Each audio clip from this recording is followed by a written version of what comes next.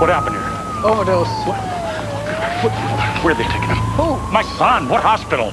It was a woman.